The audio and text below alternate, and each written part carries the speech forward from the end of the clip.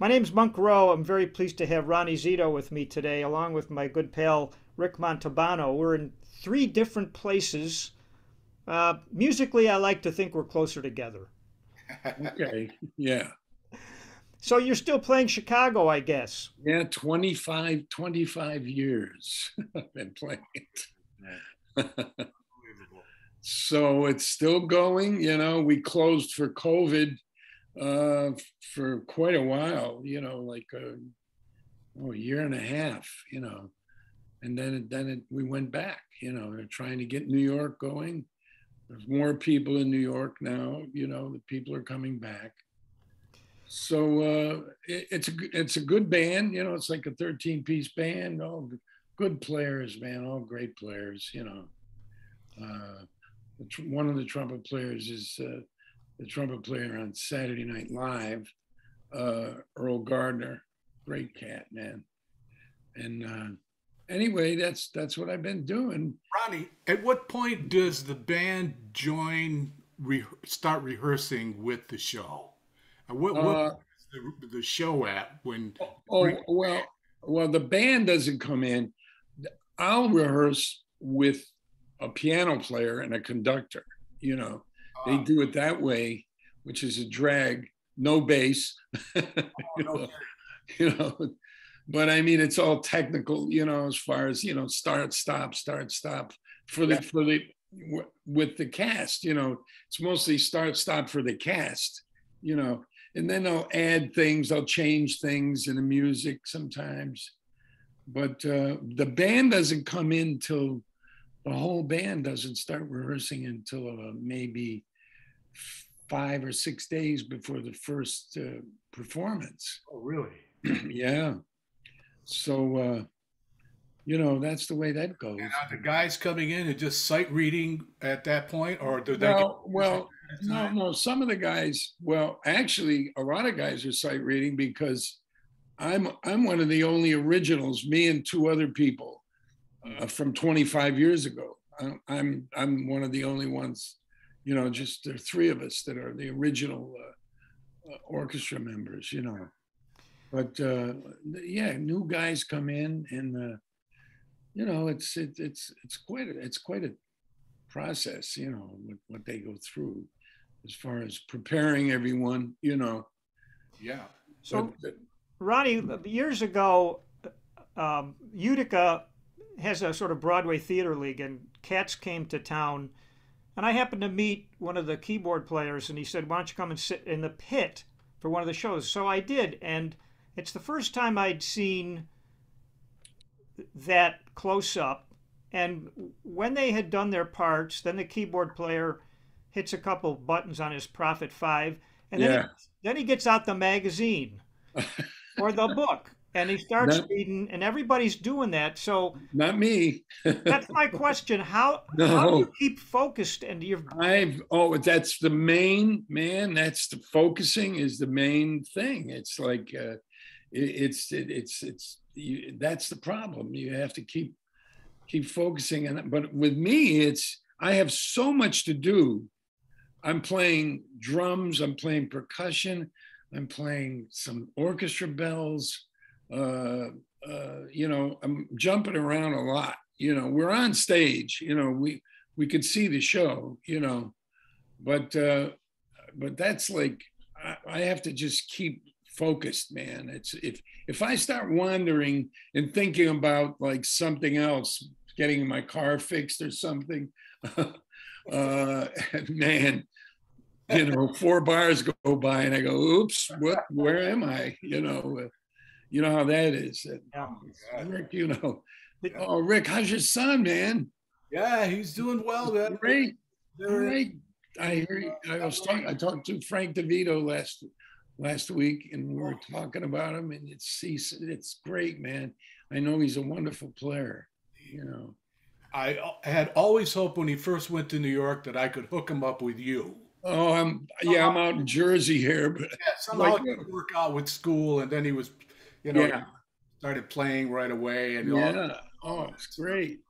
Well, I, I work in New York, but as soon as I'm done, I drive back home 20 miles away. I'm in a very residential area, you know, a beautiful little town, Oradell, New Jersey.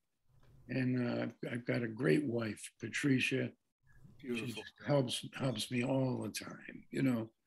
So, Ronnie, when um, I was looking this morning at the top 10 from different years, and if my calculations are right, when you were 10 uh, years old, the top singers in the music were Perry Como, Frankie Laine, Dinah Shore. Yeah, yeah. Okay, six years later, um, Cherry Pink and Apple Blossom White, Rock Around the Clock, The Yellow Rose of Texas. Oh yeah, yeah. So, my question is, did what on the radio, if anything, grabbed you at that time when you were like in, you know, in the Oh, man.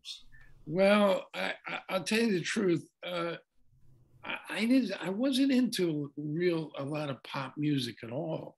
My brother, my older brother, Torrie, uh, Torrie Zito, uh, he he was into jazz. He's a piano player, and I I used to listen to his record. He would buy records, you know, and I I'd uh, just just zero in. But there there were some pop records that I really liked, you know, like uh, oh, I mean, well, actually, it was rhythm and blues, man. That's what it was.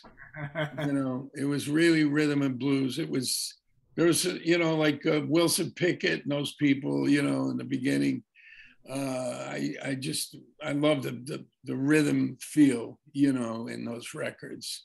Uh, but uh, yeah, rock around the clock and those they, they were okay, but it was more like it just struck me as being like country, you know, more country than anything else. But but it was it was you know I know the people just loved it, and uh, but but that's about it, man. I listened to a lot of jazz records when I was like 14 and 15. I was I was listening to Miles and uh, you know and all that, Bud Powell, you know. But you were playing um, gigs around the central New York and the Utica area probably early on. Well, I, I got a I got a gig in Syracuse at Three Rivers Inn. Dominic Bruno. where- pardon me? Dominic Bruno's place. Oh yeah, yeah. and and uh, uh, Tony Raposo was the leader. Right. He hired me, and at the time, I had not much experience playing for for acts. You know, like and they they had big names coming in. You know, Tony Bennett and uh, Sammy Davis, all these people, and I didn't play for everyone. I mean, some you know most of the big guys had their own rhythm section. You know, so I might sit out and. Uh, but then there were other people that came in, like the Mills brothers, uh, uh, you know, the McGuire sisters, four lads. I would play for them, you know, and it was it was great experience. And Tony Raposo was the leader. And when I went in there, I, I my reading was like not. I mean, I was about 17 or 18, you know, and uh, my reading was like. I told Tony, I says, man, I says like, I don't know, my reading. I mean, I, I read music in high school, you know, and in in in the uh, in band, you know, in the band room and the uh, concerts, but that was more classical. But Tony said, "Don't worry about it. Don't worry about it." yeah, I don't know if you knew Tony well, Rick. Yes. Yeah. Yeah. He was great. And, and uh, he said, "Don't worry about it. I'll, I'll I'll get you through this." Because Tony just wanted me on the gig because he was a terrific jazz player Sure was. and and he just wanted to blow. He wanted to play on, on the dance sets. Right. You know, he wanted to swing. He wanted to play. You know, you know, and he he he liked the way I played that. You know, Yes. so that's kind of how I got the gig. But then he started literally teaching me how to read. You know, he'd say he'd grab a piece of music. He'd say, uh, he said, "Let me take a look at this." And he goes, or or he might say before he would say, "Take a look at it," he'd say, can you sing ba ba ba da ba da ba da ba da? Can you sing that? And I would go ba ba ba da ba da ba da ba da. And then Tony would point at the paper and say, Well, that's what you just sang. Uh-huh. It's on the paper. He says, This is this is you can do this. You just sang it. If Yeah. you could sing it, you you you got a good chance of playing it, you know. Right. And, and it was it was like that. It was not no pressure, you know. He was he never pressured me or anything like that. Mhm. You know, Tony Raposa, great musician. Yeah, he sure was. His brother Joe is still around. Oh wow, wow. Say hello, please. Player. Yeah. Did Did you ever have any of the acts that came into Three Rivers, the actual singers, for instance, like tell you to do something different, or give you one of those looks like, no, Oh. that's not what we want. Oh, uh, they might ask, but but usually they went, and usually they they talk to the conductor about something like that, and then it come it might come to me. Uh, they they the, the conductor will say, Ronnie, and and uh, letter B, they want more quarter note feel, you know, uh, or something like that, you know, uh, cross stick or something like that, you know.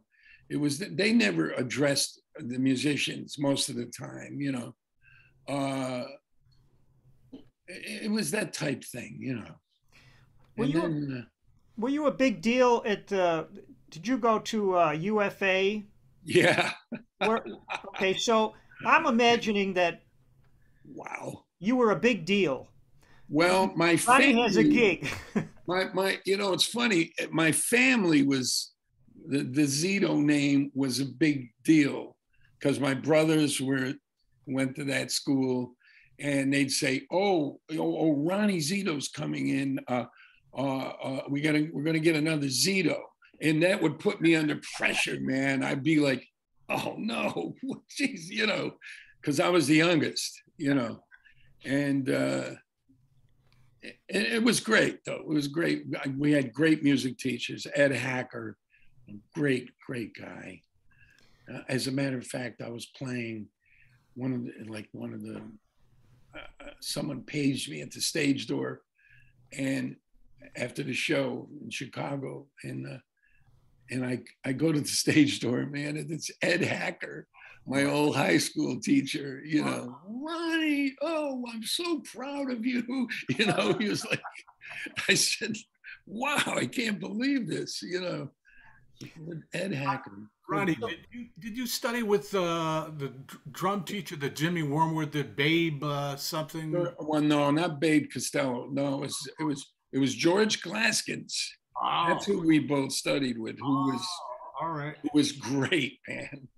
I mean, he he didn't didn't, you know he didn't know anything about jazz or anything like that or playing a, a drum set, Yeah. but he he really rudimentally he was wonderful, you know, and uh, I still think about him, you know, like the way he did things when I went to his lesson, you know, we'd have two practice pads set up and he you know, he had a beautiful role. He could play a beautiful role, man. I'm still working on that, you know. and I think of him all the time. so you know. there's a bit of an upstate uh, mystery I'd like to uh, just ask about. Uh, there's Nistico, Romano, Yeah. Esposito, Mancuso, Zito. Like, what's that about? You forgot a few, Monk. I know. Menza, Red Menza, Don Menza, Joe- Mel Lewis, Mel Lewis from uh, Buffalo, right. Mel Lewis, Yeah. Steve Gadd. But is there something in in the Italian household that you can point to that um, you know enabled this wonderful crowd of musicians that came out of upstate New York? I- I don't know. I think it was more. Uh, I think we were all like kind of like. Uh, It was a brotherly thing. The music made us, uh, gave us a brotherly feeling, and it did, man. When you run into guys, I would run into guys that that I might ju- might have just met that night, you know, and within 20 minutes we're like tight. You know what I mean? You know what I mean? You get that that feeling like I've known this guy. We've known each other for a long time. You know, it's that it was that kind of thing. You know. When did you meet the Mancusos, Ronnie? Oh, from when I was a, a kid. My my my uh, Mancusos were Sam Mancuso was uh, he was like he knew me from when I was like a young kid, like eight or nine years old. He knew my family, you know, my brothers, and uh, oh, great musician, man. The yeah. Mancusos were just. He's he was a huge influence on me, man. Huge, still, still to this day. Yeah, I think him. You know, I have a couple of recordings of him on guitar. Oh man, that are. Is that beautiful? Yeah, I mean, it, it was you know hard, hard, to imagine hearing somebody that good. I mean, you know, and, and the thing about Sammy was, you know, when he played the guitar, man, he didn't even he picked he just picked down. Did you know that? Yeah, he, he picked down. Yeah, he and I think he had a he pick down up down up. You know. He had something with I think his fourth finger where he didn't use it or something was something. Yeah. And yeah. when he played piano, the thumbs. His thumbs were down. No, the thumbs were off of the side of the. Oh, he didn't use his thumbs. he sounded like like a Horace or somebody, you know. Man, I would look over his shoulder. I used to go to his house every Saturday morning. Oh man! Have coffee and some donuts, yeah, and yeah. him and I would go and play, and then eventually Dolores would come in. Yeah, yeah. Oh, but he would sit, he'd show me something. Don't this go here, play this jam. Oh man! What, what is it? It's G minor. Yeah. And I'd look at it. I said, "That's not G minor. It's G minor, sort of, but it's got." like all, other. You know, all these other things around it. You know, so I had to just kind of, you know, figure you know, out. He, he, was he was so impressive to me, man, as a person too, because you know he, had his own house. Uh, he had a day gig. How about he that? Was, he was a supervisor in some plant or something. Yeah, yeah. And I, I just it, it, and I think about I, I just was this respect, you know, because we he had more than we all had, you know, like I don't mean a lot of money or anything, but a, a way of life, you know what I mean? He he just that that was the way I wanted to live, you know, the way Sammy did. Yes, yes. I I I love hearing this, and it makes me think about the learning process back then and how it gets passed on. Like, you know, Rick passed on that kind of thing to me, and I didn't even have yeah. to ask for it. It was just like, like you said, like just, watching and listening. It's there, right? Yeah, yeah.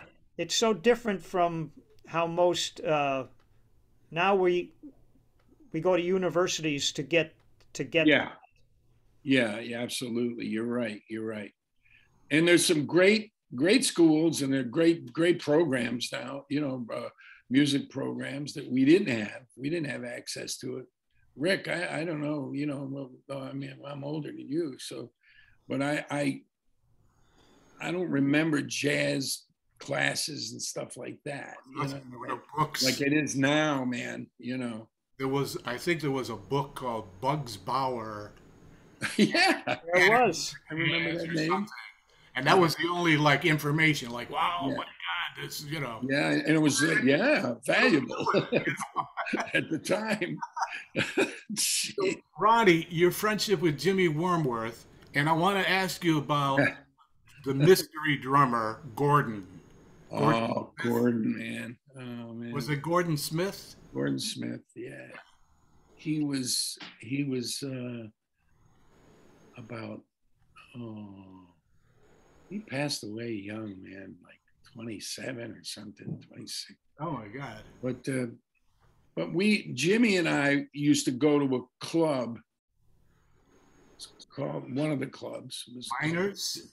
Miners Grill, uh, uh or, Wang or, or Wang and Gene, Wang yeah. and Gene's, and it was in the black section, you know, mm-hmm. and uh, the music was fantastic. You know, you walk in there and it's just uh, just just great. But the overall feeling was great too in those days. Even as as weird as it was then with racially and all that, you know, it wasn't that way when we were there. You know, it was it was just the music and everybody having a good time. There was no like tension or any of that, you know. Uh, but but the music was great, and Gordon was usually playing drums. Gordon Smith, and the first time I heard Gordon, uh, man, I wasn't there. First time I heard him was in another gig with Vic Kirch. Remember Vic Kirch? God, Vic Kircharillo. Vic Kirch. I just posted a video Yeah. of Oh. Vic in Salamico. my Yeah. son, Yeah. Playing at Bobby's restaurant. Oh man. E3 and Vic Yeah. played and he sang, he scatted. And Yeah. He just Oh my God. What a great natural musician, natural man. goodness gracious. and and uh, ter- terrific. Uh, anyway, Gordon was playing, and I was I, I was about fifteen or sixteen.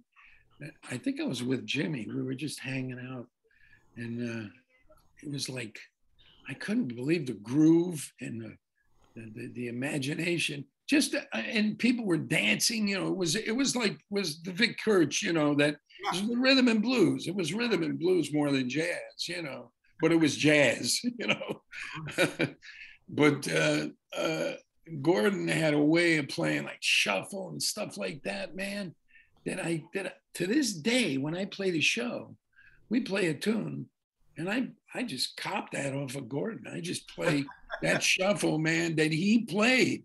And I talked to Jimmy about it. I said, man, I still play that Yeah. a certain thing with my left hand that he did that I, I that was so magical uh, that I I went home and worked on it. You know, like uh, I said, this is I I got to do this.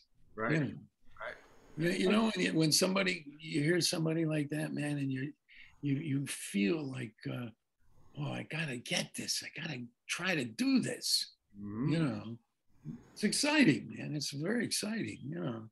oh he was great man gordon smith and a great guy man When you got tapped to uh, go with with Bobby Darin, yeah was yeah. there any question about doing it? Did you like? oh yeah yeah i i said to tony uh, uh bobby asked me bobby asked me if i could go with him for six weeks right or something like that. He didn't say i want you to be my drummer right away. And he says uh, i've got this gig in uh, in washington d.c so i spoke to tony about it and tony says go man. Go ahead. You're young. You go ahead. Just do it you know. By that time I was playing because I was at Three Rivers for about two, three years, and I was playing real good. My reading got real good because you're playing different music every week, you know. So you you your sight reading gets better. So when Bobby came in, I just was easy, man. All I had to do was swing, you know. You know, like he he did want to swing, you know. Uh, Mack the Knife had just come out. It just came out. Uh, I didn't even know like uh, how big he was up in Utica. We, I, we didn't really know. When I got to New York, it was on the radio constantly, you know. and uh, all of a sudden, I'm on, I'm doing the Ed Sullivan show, you know. God. Oh, you see, got to get a tux, you know. I had to get a tux. Uh, uh, and and in the, in the band in the Ed Sullivan show, it was Thad Jones in the trumpet section, his brother Hank Jones playing piano. They were all on staff, Oh, my- CBS staff, man.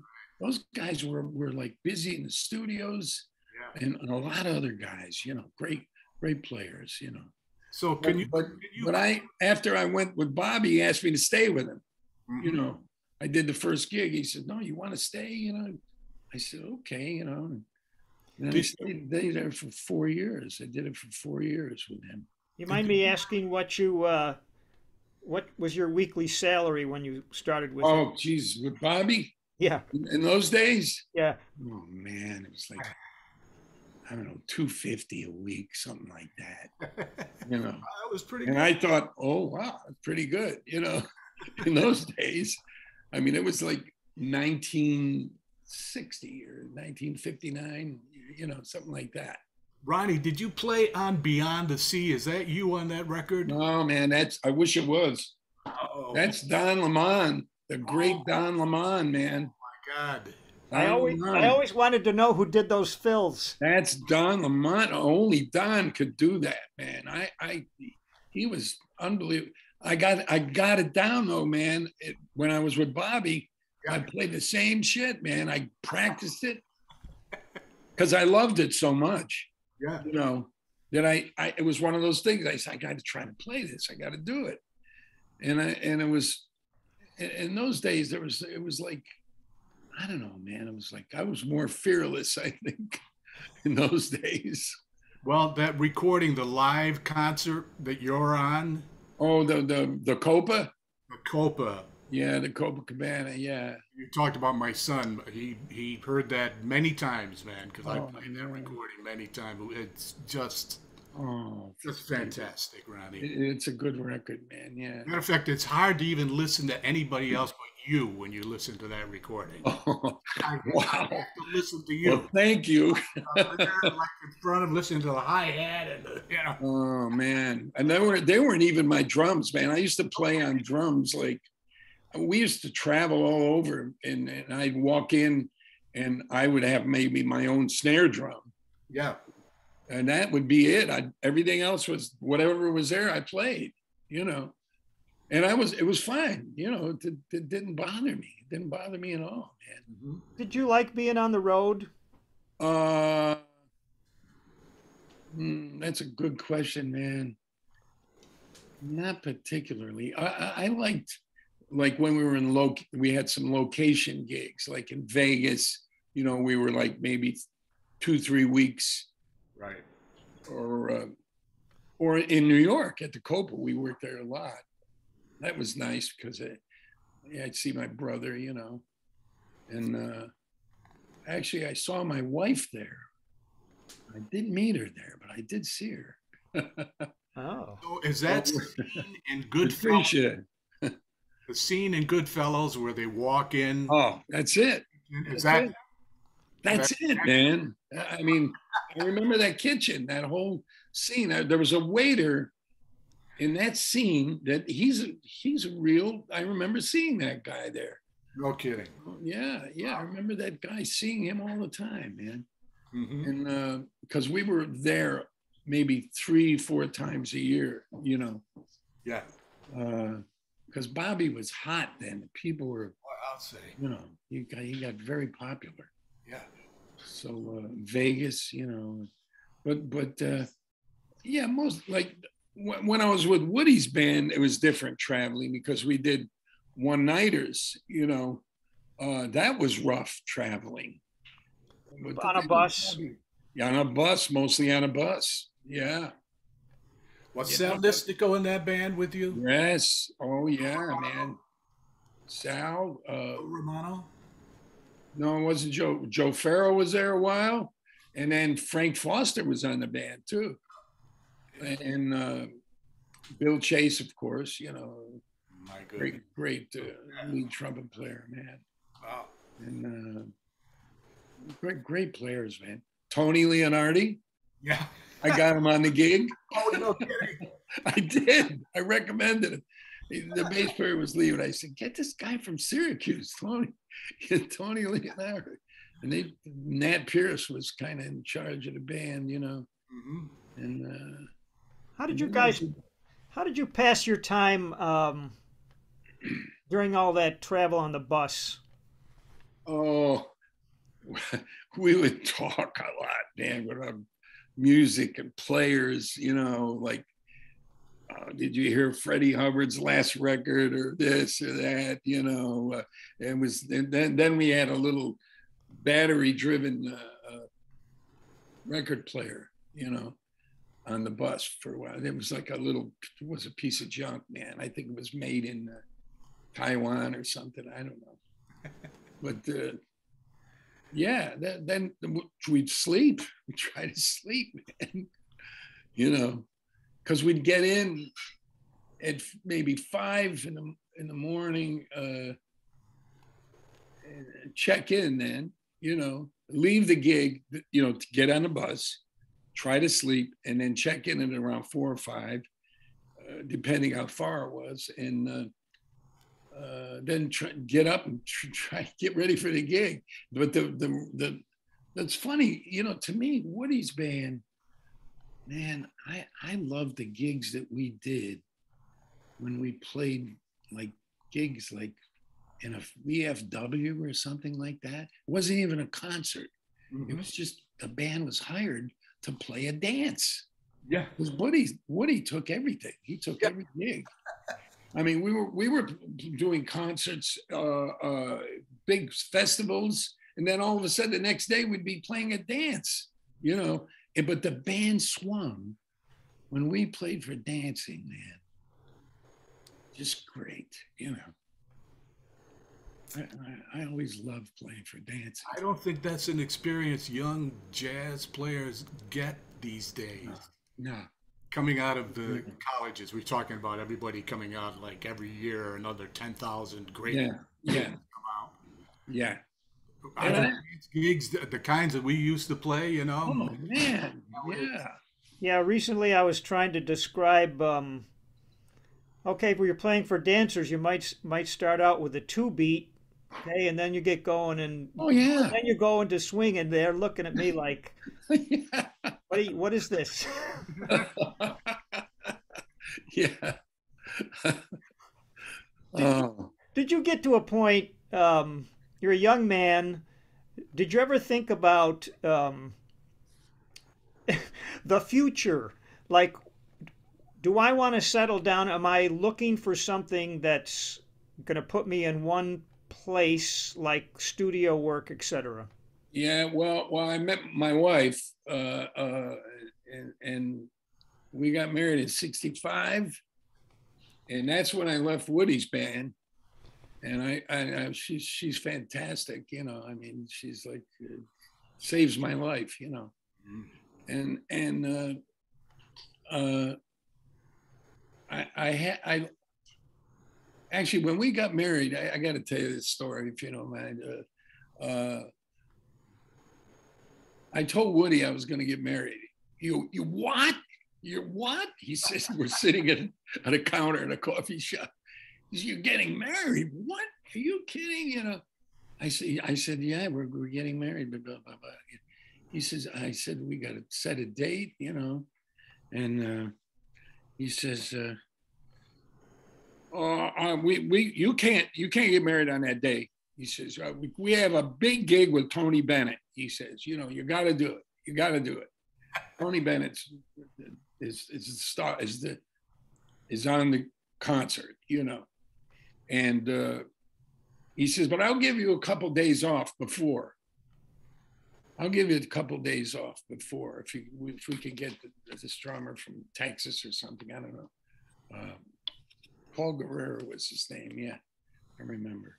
And uh, so anyway, uh, we get married that day, and, uh, and we have a reception, and uh, now now I got to go to the gig. I got to leave the reception to go to the gig. I still have my jacket on. You know, I think I rented a white jacket. I don't know what it was. And the ja- we leave the place. It's and uh, and my wife has her gown on yet, and she my my we jump in a car, and we go to the gig, which is about was about four, three four miles away from the reception where we were, and we walk in and uh, I, I just run down the aisle and jump behind the drums, you know. And then Tony introduces my wife. She's sitting in the back, you know, and he, stand up, you know. Oh, they, he made a big deal out of it that we just, you know. And, and, of course, my brother, my brother was writing for Tony, you know. Mm-hmm. Uh, wrote some good good arrangements for him. He sure did. He did. And for Frank. Yeah. Incredible yeah. stuff. The, uh, I miss him, man. Boy, he's my brother. Uh, so, Ronnie, tell me how many musicians were in your family? Because I, oh, jeez. Well, my father, Artie, my brother Freddie, who was on every band in the world, man, he left Utica when he was about 20. He was on Stan Kenton's band, uh, Charlie Barnet, all the bands, man. And that was in the band era, you know. And uh, he settled in New York and, and then he moved to Las Vegas later on. But uh, my father was a musician. My father worked in the Stanley Theater playing bass uh, in the Stanley Theater Orchestra. Wow. That, those were the days where they had stage shows. Mm-hmm. And they would they might show a movie, you know, yeah. they'd have a stage show or just stage shows. Right. And my father loved that gig, man. He loved it. It was like the best gig you could get in, in Utica, you know. Mm-hmm. I mean, in that area at the time. Uh, uh, and then it ended, and he was destroyed. Uh. that ended, man. Uh, then, then my uncles I had uncles that were musicians. My uncle Jerry, my uncle Bob, he was a violinist. Uh, my uncle Tony, my uncle Tony was a, he just gigged around. He sang and he gigged around with an Irish harp. Oh, you know, and he gigged he gigged locally around, and he, he did okay, you know, and uh, but they used to bill him as Tony Zito, the Irish harpist. you know, we'd laugh, you know. So I'd say to my father, "What what did he do? Where did he work?" He says, "Oh, he just went busking around, you know, busking around." They right. used those for terms. My old uncles were all older. My father was older, right. old time. You know, I said, "How did you get to the gig? When did you in Herkimer in the, in the winter?" And my my uncle Jerry would say, "Well, it was by Cutter Cutters." I said, "Cutters." He's sleigh, horse and sleigh. Oh my God. yeah. It was like, you know, 1902 or something. I said, Cutters, sleigh in the snow. Yeah, oh, yeah. I said, what, what, what kind of band was it? Oh, harp and violin. And uh, it's like harp and violin and uh, uh, maybe a, a, a, some mandolin or something or right. you know, some something like and they played old music man they played like turn of the century music yeah. Well, they were older. My my uh, my father was older, and my uh, they they played like uh, you know things like Nelson Eddy. Remember Nelson Eddy? Uh, and Jeanette uh, MacDonald. that's way back.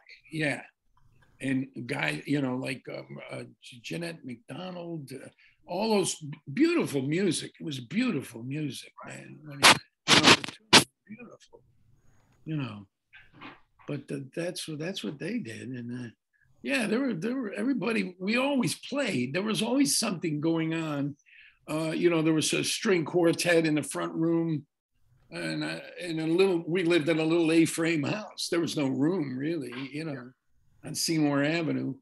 Hmm. and uh, uh, which is gone now it's a parking lot you know. Wow. And uh, but there was always music happening. You know, my brother was always playing, or, or there was a trio, or a singer would come in and rehearse tunes with Torrie. You know, mm-hmm. uh, remember the Lafayette Lounge? Yes. In Utica. Yes. Torrie used to do a single there. Mm. You know, before he ever left Utica, he used to play play the piano by himself and accompany singers. All these singers would come in. You know. Well, your brother was, uh, you know, amongst the piano players in the area.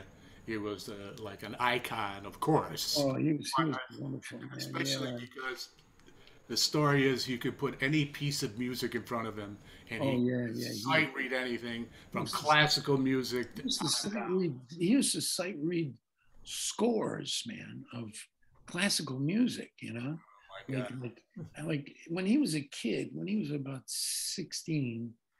sixteen used to, on Sundays, he would sit at, at the kitchen table with the radio on with these scores. He had miniature scores that my uncle gave him.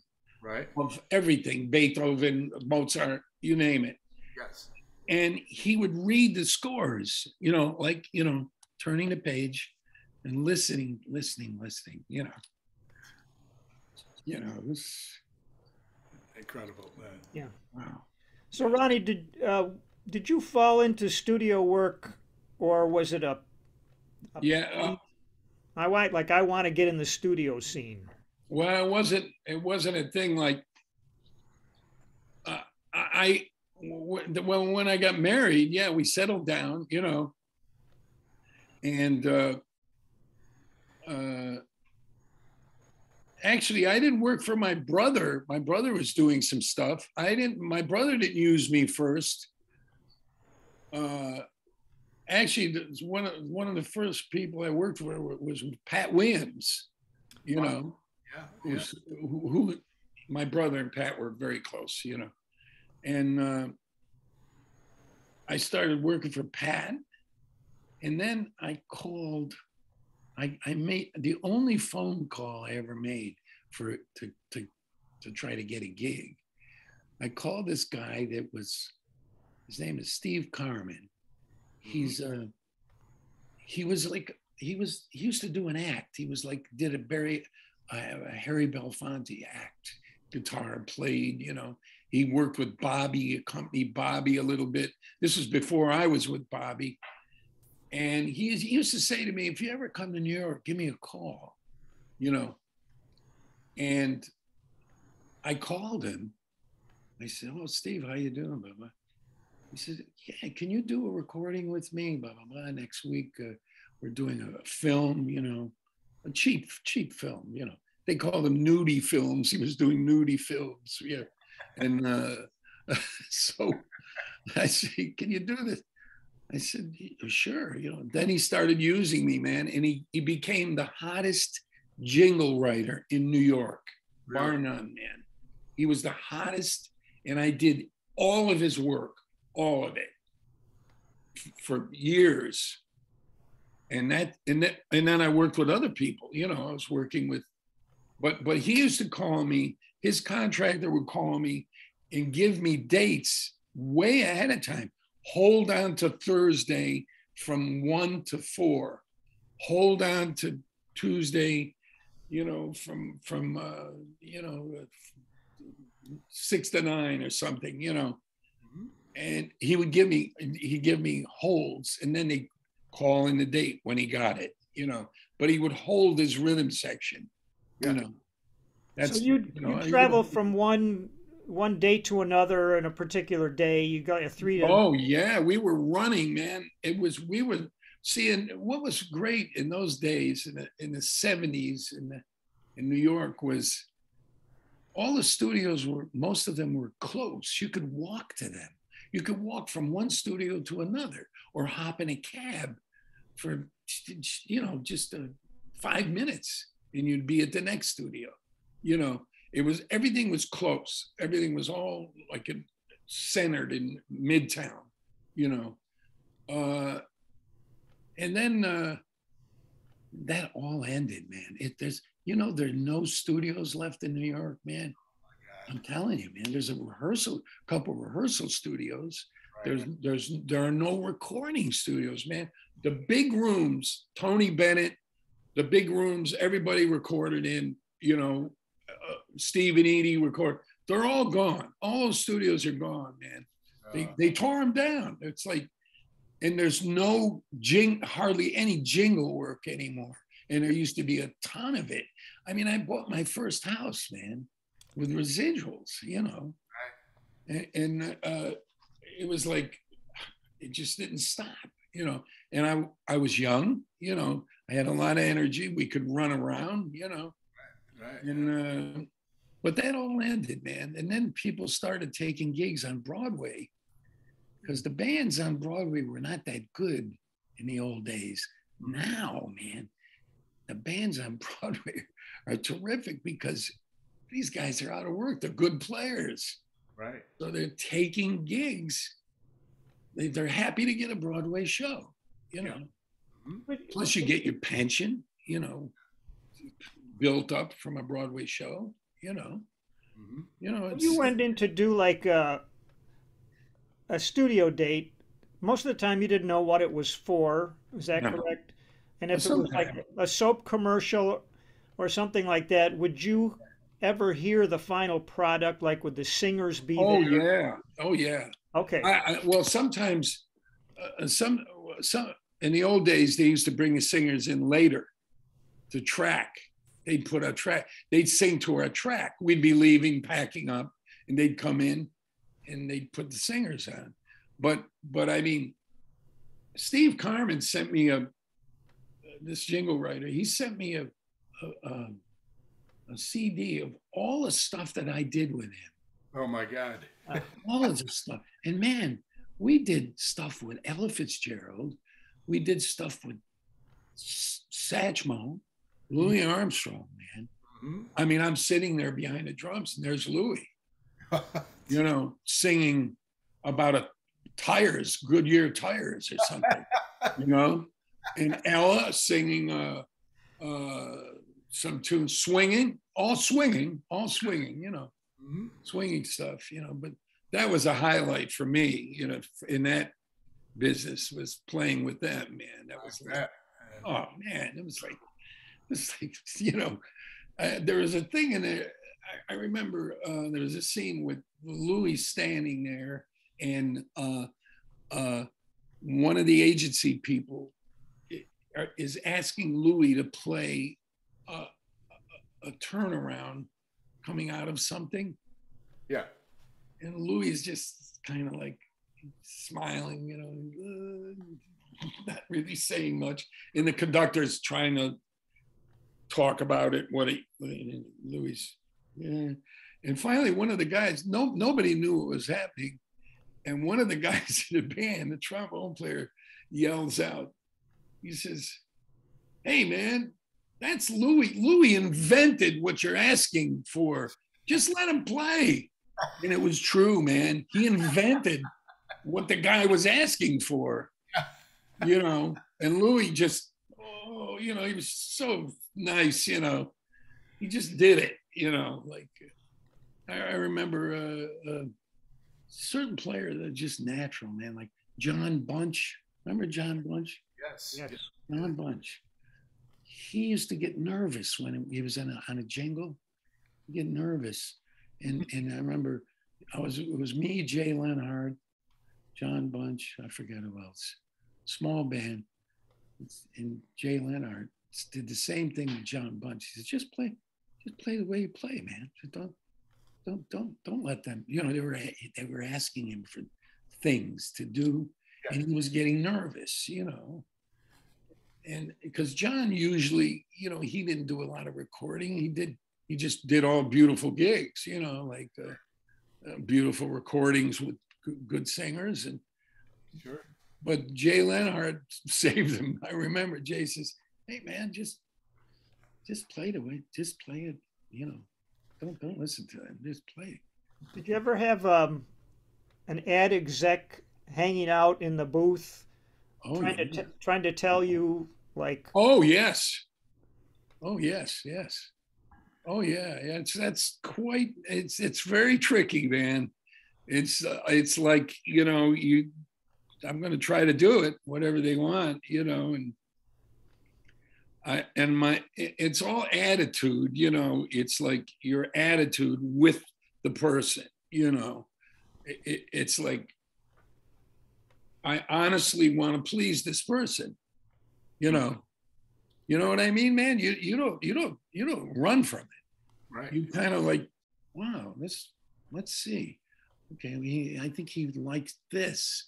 Let me try that, you know, and that kind of thing, you know. But nobody ever got got weird or anything like uh, indignant or anything like that. You know, there was they always everybody was always nice, you know. But uh but then the, uh, the Copacabana recording at the Copa? Can oh tell us about how that came to be and I, I, you know something, I, I, I, wasn't even sure we were recording that night. You know, it was, it was weird, man, because there was always gear around people's gear and mics and things. You know, they were all. It was always around. lights, and uh, I, I just just played the show. You know, it was like, oh, you know, we're just playing the show. You know. But I mean, the uh, I, I, guess I didn't explain the Barry Manilow record at the. Oh, oh, the oh yeah yeah I went to California for that. Yeah, were you his band at the time, or was that? Yeah, just... well, no, no, I was uh, just for the recordings. Oh, I see. I did some recordings with him.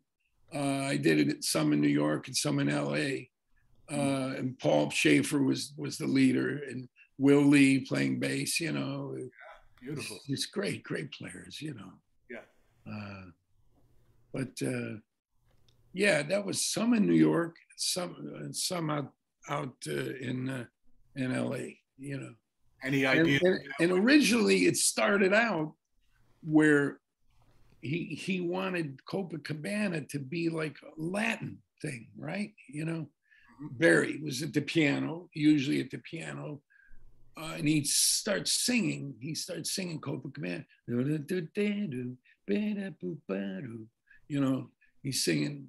It's, it's like I don't know, and it's like this, it's like that, and uh, and we we it was Latin, and then they they hyped it up later with with they then they decided.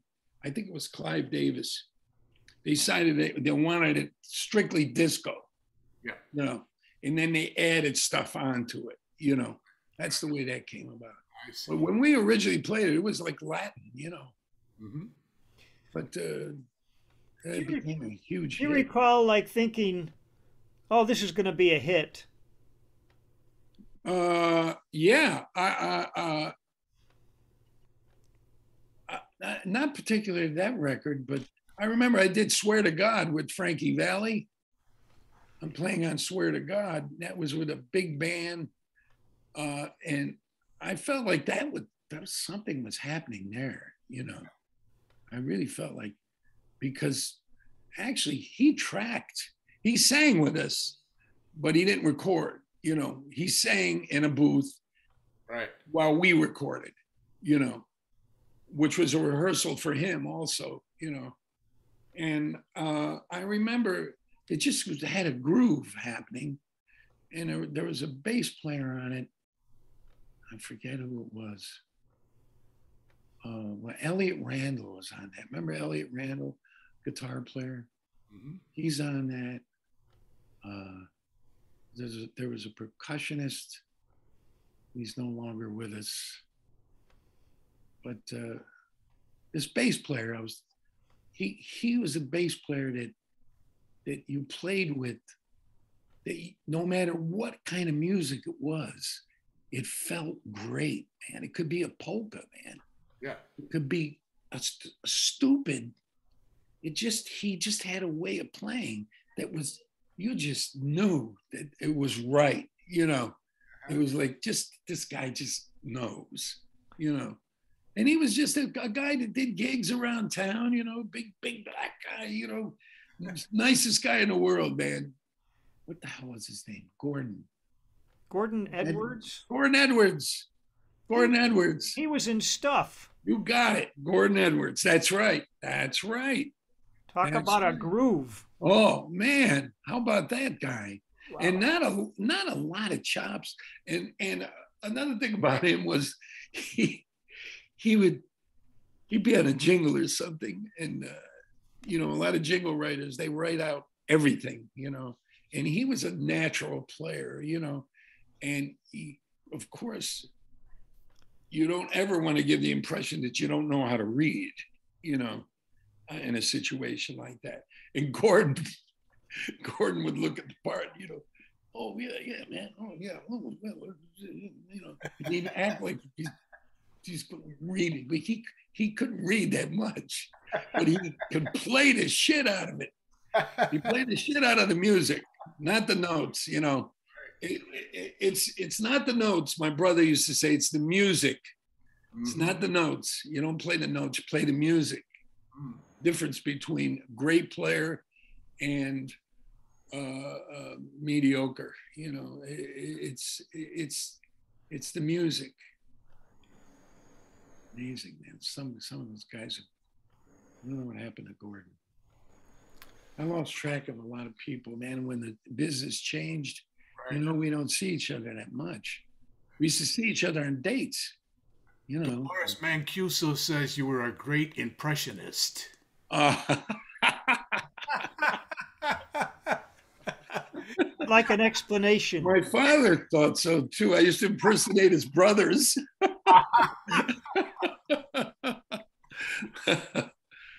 oh, Fran- um, Sammy was funny, man. He had a great sense of humor, Oh, Sammy. you sure did. Well, Oh, Jesus. You learn a lot from people like that, man. so I now uh, uh, Frankie Valli comes in like to Oh, yeah. Turning Stone Casino where I, used to do contracting. They used Uh-huh. To contract for all the acts that came in. Yeah, yeah. And nobody left. but he Oh. would come in, and at some point, Yeah. everybody would come in with the computer. Oh, yeah. All Yeah. right. So all the tracks, Yeah. everything is on the computer. They'd play, Yeah. but at some point, you know, like know, Frankie. Valli and some of those high parts, Oh, sure, he'd just push up his track, Yeah. yeah. Yeah. and that was that. And and virtually every act that came through uh, uh, turned in that direction. I Where mean, was where was this? Where was this now?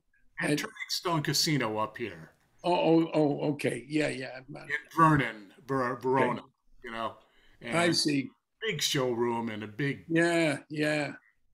you know. So for years, contracting those acts, uh, Man. they would come in and play like Aretha Franklin and Yeah. like that. And little by little, you'd see the computer. The drummer would have the laptop, and he'd be yeah. pushing up tracks and with the headphones, and Yeah. you know, and you know, man, I bought I bought a Linn drum machine when they first came out many years ago yeah, because people were asking me if I programmed, right?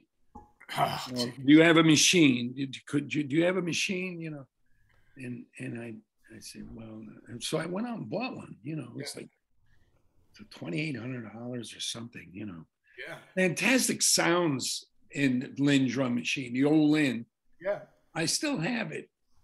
So I, I I- I would go to a date and play, play, and then I'd take the drum part and go home, get the machine out, and try to program what I played. ah, You know, yeah. and I I did it for about a, two weeks, and I I just put it away one day, man. I said, I I gotta look. I still work. I still want to play. I still I still I'm still learning how to play the drums. What am I learning now? You know, pressing buttons. You know. It, it had nothing to do with with our makeup as a person. You know and I put it away, man. And I just, and then it took over. There were guys that were doing dates, man. You know, there were a couple mediocre drummers that bought drum machines, man. It made a lot of money, man. You Mhm. know, and they they programmed well. They did. They they they knew what they were doing. You know. I'm terrible with technology, man. As you can, as you know. Well, we're here, aren't we? yeah, yeah. I'm enjoying it. It's great. Yeah. What a hang. Great hang, man. Yeah. And some of these acts like Cher and um, Roberta Flack, Yeah. was it was it was it a memorable experience or just one more day? Uh, uh, I, I, I, Roberta Flack was nice. Yeah. Uh, that was, I got to meet, oh, a great drummer. I was on a couple tracks and he was on another tracks. He's a great player. Oh, oh I forgot his name. Jeez. Uh, anyway, we hung out a while. You know, I hung out with this drummer a lot on the gig, you know but, you know, playbacks, you know, you sit together and talk. And, uh, but, uh, yeah, there, there were, there were some good, great experiences, man. Like, you know, you know what I got to do that I really loved, man? Uh, I used to work, I used to do all of Elliot Lawrence's work, you know. I don't know if you remember Elliot Lawrence Yes. years ago he had a jazz band great jazz band anyway he became uh, a producer in new york and he he I was on everything he did, and he, he soaps, uh, films. He he he did all music, and and uh, and sometimes he would use Torrie. I'd see Torrie. Torrie would come in with the music, you know, say, "Oh, hey, man," you know. and uh, uh, but but the gigs that I did, he used to take a band. Well, he would take the rhythm section to to Washington, and we do the Kennedy Center, man. You know, with with you know the Kennedy Center honors. Yes. And it was such a great gig, man. And I did about five of them, five or six of them. Mm-hmm. And uh, Clinton, Bush, who else? Reagan. Uh, no, I wasn't. No, I didn't do Reagan. I don't know if it was Reagan. Anyway, um, after the gig, we we'd have we'd go to a dinner, you know, and mm-hmm. all all of that it was I'd take my wife, you know. It was really, really a beautiful experience, man. That was a great. And then he lost it. Elliott lost it. Another conductor came in. Of course, they used their guys, you know. Right. And uh, but it was it was it was a great gig, man. The orchestra was great, you know. Always, you know. And we'd rehearse. We'd go in. We'd pre-record a lot of it there, right there, you know. And uh, but that was that was a great gig, and uh, we do the we do the Ford Theater. There'd, there'd be a, a, a benefit for the Ford Theater uh, every year, and that was great because the president and everybody, the cabinet, you know, it's just a tiny theater, man. They were all sitting down front on top of us. we're on stage, and I'm looking at Bush and uh, you know this one and that one, you know, and uh, geez, it was, it was fantastic. That was, that was fantastic. But then he lost that gig too. We got everybody got older, you know. We get older, you know, new people come in and they're great, you know, they're great. There's so many drummers around, man. I can't believe it. That that just blow my mind, man. Yeah. Just blow my mind. I'm like, because how does he do that? You know, just it's amazing. Do you ever get checks in the mail and you not sure what they're for? Yeah, that's happened to me. Yes, yes. for films, from usually from films, like I, I remember. Oh, I still get a check from, uh, what was that? The Spielberg movie, Close Encounters. Close Encounters. Okay. Now, now get this. You remember the scene in the movie where he's building a mountain inside of his house. Yeah. Yes, yes, Mashed potatoes, everything. Right, right. There's a TV on, and they're playing a Budweiser commercial mm-hmm. that I'm on. so I get a check for like 90 bucks every once in a while, 85 bucks. You know, at first I didn't know what it was, and then I, then I found out, you know, because it was weird. It was like I, I didn't do the film. I, I was just on a the TV was playing in the room while he was building a. Oh, fuck. It's so beautiful, man. It's weird, isn't it? It's weird. What kind of gig um, do you like to play now that has sort of no pressure? Like when you're doing Chicago every night, yeah, you, yeah. you just have to be so focused and what kind of gig is the total opposite of that for you? Well, that's a good question, man. Uh, well, I actually I had a rehearsal band. You know, I had a with some good arrangements, and uh, uh, that was fun. I would call a rehearsal. I'd call up the guys, great players. Everybody would always say, yes, I'll be there mm-hmm. for no money yeah. for two hours on a maybe in between shows, you know. And we'd play whatever I'd call up. I was the leader. say, let's play number 23, you know. Mm-hmm. And man, eh, like it was that after that two hours, first of all, everybody always showed up. Nobody canceled or anything. I'm, I mean, great players, man. Bobby Porcelli, great uh, alto player. He used to get, I, he would get saxophones, and uh, man, like uh, just just all, all great players, man. Yeah. And, and it was and and they would want to play longer. I only had the room for two hours. It was at the Union, by the way, Yeah. which is closed. Our union is closed. We're waiting for it to open so I could bring in my band again and rehearse because they have a, a great room with drums. And, you know, not only me, everybody wants to do it. But but then I would play with other bands too, uh, uh, rehearsal bands. That was fun. There was no pressure. You know, you're sight reading, but it, it doesn't matter. There's, there's no audience. There's no.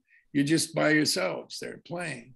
Might be a few people hanging out. You know Yeah. but uh, that that was fun. But to tell you the truth, man, I want to go on a gig and play some tunes, man. Right. I just want to play some. I want to play all the things you are. I wanna play, you know, I, I- I mean, you know, I just want to play some tunes, man. Right. Good, good tunes. Sure. Just, just ding, ding, a ding. You know, Well, I you don't come want up to any Utica. solos or anything. you know? Come on up to Utica. We'll play some dang dang a dang. I'm, I'm telling you, man, I, it's, it's it's it's amazing. Well, I'm, I'll tell you, man, my chops are so strange now from playing the show. Man, I have a lot of bad habits because of the way I'm set up, things like that, and I got some arthritis coming in. You know, uh, but I could still play the show. I could still play and play pretty strong yet. You know Mhm. fast. I'm not. I'm Caledonia's over for me, man. I did that with Woody for two years, man. And Northwest Passage, you know, you know, it's like crazy. Woody wanted everything fast, you know. But Oh, that's a great band leader, man. Woody was a great band leader. yeah. Great guy, man. I boy, miss him. And uh, I did five albums with him. You know, first album was my kind of Broadway. We did all these Broadway tunes, Mhm. but he had charts in there from Bill Holman and uh, uh, oh, Nat Pierce did a lot. Mhm. You know, all, all good music, man. It's very good music. And uh, then there, there was Some- we did did, we did some, Live at Antibes or something like that. pardon me. Was it? There's a live thing you did. Uh, and Oh yeah, Antibes. Yeah, and, and, Antibes. Yeah, yeah, yeah. That's right. I, I that we didn't get paid for that for a long time. yeah, we did that, and uh, that's about it, man. But Woody was a great experience for me. See, that's another thing. When I got off of Woody's band and I came to New York, let's get that guy that was that was with Woody. Right. That's the way it went, man. Mm-hmm. It, it just does. They they hear you. They're playing a Woody Herman record on the on the radio locally, you know, in the jazz station. People, other musicians hear it, you know, and they they say, "Oh, well, let's," uh, you know. I was getting gigs just because I was with Woody. Actually, I got more mileage out of Woody than Bobby Darin Really. you know in other words because the musicians were more impressed and the writers with somebody from woody's band and with bobby i guess you know i don't know. Although they they, they liked they loved bobby you know Mhm. some of the stuff you know was great. He, he, he did want to swing all the time man. Swing. He, was right on the right on it man. You know i used to do this thing at Three Rivers Inn with him I, I don't do it anymore but because i'm not playing that kind of music that much you know you know when the drummer sneaks in you know when you're playing Yeah. Yeah. playing and you sneak in Mm-hmm. soft soft soft soft Yeah. he never heard that man he flipped over it. and he went after it a while. He'd go, sneak in, sneak in, you know, while he's on stage. You know, I wouldn't be playing. He'd say, sneak in, sneak in, man. Sneak in. And then just soft cymbal, just soft cymbal, even no hi hat, man. Then all of a sudden, little hi hat, maybe cross stick, you know. Mm-hmm. They, they, he went nuts over that, man. And it's all stuff that I heard on my in the jazz records, man. You know, all the stuff we listened to, man. Mm-hmm. You know, Blakey and uh, you know Philly Joe. What were your big, biggest influences in terms of drummers? Oh man, uh, well, Philly Joe really, uh, Billy Boy, man. Yeah. I mean, listen to that one. Yeah. You know what, what's wrong with that? you know, Billy Boy, man, and uh, oh, man. Uh, Art Blakey, man. In the very beginning, Art Blakey was just just a thundering, man. You know. Yeah.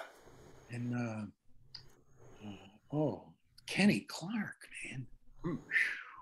Brushes, Kenny Clarke. What a player, man. Yeah.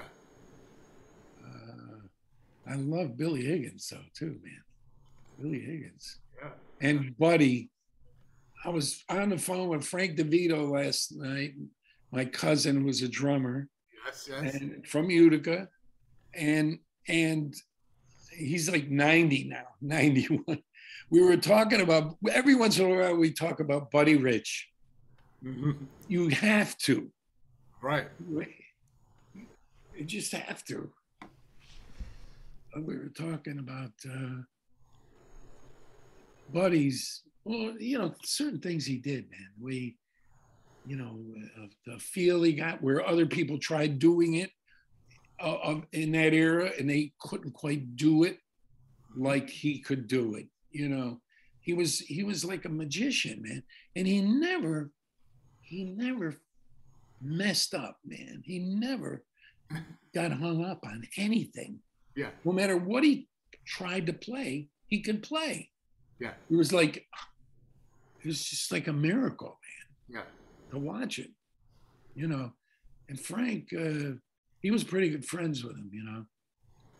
Uh, and Buddy, uh, he was a character, man. And he, he was over at Frank's house one day, and Frank is he's got a pair of drumsticks on a coffee table, right? And uh, so so Frank says, "Hey, buddy, what, what is that? What, what is that you do there? You you?" Buddy picks up the stick. What are you talking about, man? You know, Buddy was like crass, you know.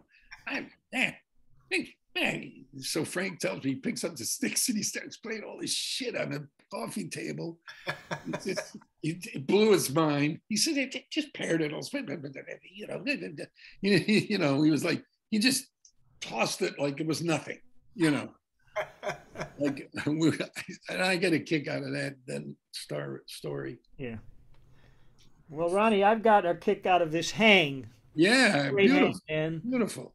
Hey, if, one thing, if I if I don't say hello from Pete Procopio, I'm going to be. Oh man, yeah, you too. Please say hello to him.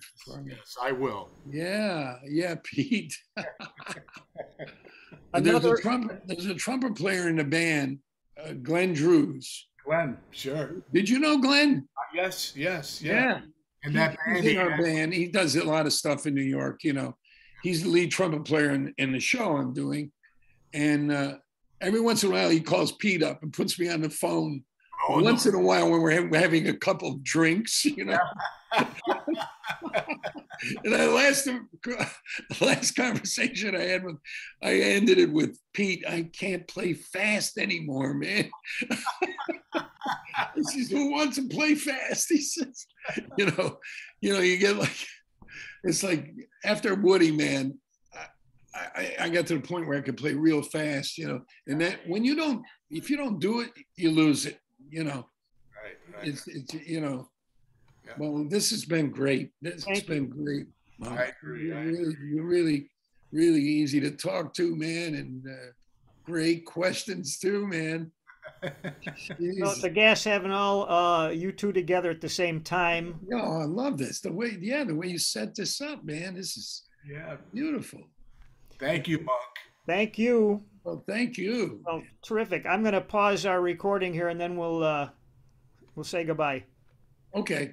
All Okay. right. So I'll just sit where I'm at, right? Okay. You're good. Okay. We're good. All right.